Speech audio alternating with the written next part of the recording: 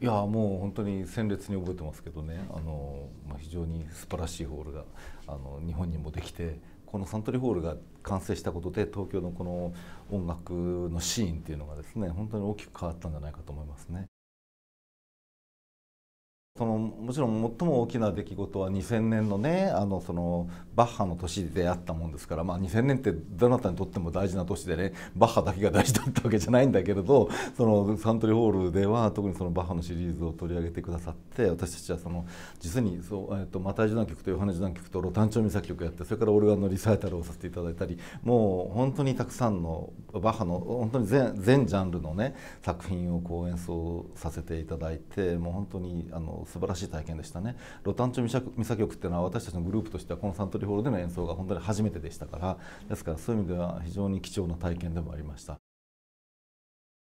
最初ね3年間やってくださいっていうお話だったんですよ、で3年終わったらねもう3年やってくださいってことになって それでそれが終わってからはもうずっとやってくださいみたいな話でで、まあ、私たちもメサイアを毎年やるのはね、まあ、楽しくてね音楽。そして12月のクリスマスのいいあの雰囲気でもありますからもう聖夜のメサイアということで本当にあのお客様も、まあ、あの楽しんでくださってるようですし私たちもメンバーもねあの大変楽しみにしています。でごく最近はもうそれの上にクリスマスコンサートもさせていただくようになったからつけメサイアとそのクリスマスコンサートっていうのはこうなんていうかあのパックになってね 非常にあの私たちにとっても重要なあのクリスマスの時期をこのサントリーホールで毎年迎えることになっていて本当にあの素晴らしいあの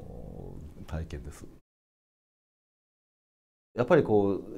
一つの日本のねあの音楽界の中心的な存在でもあるしそれから私たちの活動の中でもねあの、まあ、このサントリーホールっていうのは決してそのバロックに特化したわけでもないし古楽器のアンサンブルに特化しているわけでもないのであの私たちも他の場所でもたくさん演奏するんですけれども。まあ、非常に私たちのこの活動の中でもやっぱりサントリーホールでこうあのに繰り返しあの出演させていただくというかね。あのここで演奏させていただくことは我々にとっても非常に重要なものなんです。音楽っていうのはやっぱり演奏の場というのがやっぱり重要でね。人でその場というのは人が作るものなんですね。ですからそういう意味ではこのホールの雰囲気ももちろん素晴らしいしオルガンも素晴らしいし。でしかしそこにその聴衆がもうなんかあのこうなんていうか非常にここへ来るのが嬉しくて。来るっていうかねそういう場になってますよね。ですからそういうその気の状態っていうんですねそういうものがやっぱり素晴らしいと思うんですね。2,000席ありますからね私たちのような古楽器のアンサンブルが今やや大きいサイズなわけですよ。ですから普通は大きすぎるんじゃないかと思うんだけれどもしかし実際にはこの非常に温かくが温かい響きがあってね。そしてあのうんなんていうか、えー、演奏してるものとこう聴衆とのこの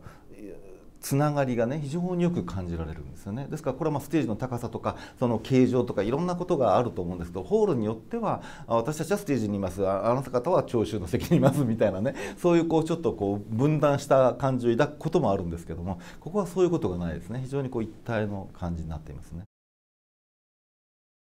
音楽というのはね私たちのもう本当に日々の糧ですからね。ですからそういう意味でこの30年間このサントリーホールがもうずっとこう築いてこられたことがね、まあ、次の30年もまたその次の30年もずっとつながっていくといいと思いますしそのことによって人々が本当にこうあの嬉しい思いにね満たされていくっていうかそういう平安の思いをねあの抱かせていただくという、まあ、非常にここれは素晴らしいことだと思いますねですからこういうかあのこのこのことがもうコンサントリーホールのその音楽活動というのはますます発展していくことを本当にあのお祈りしております。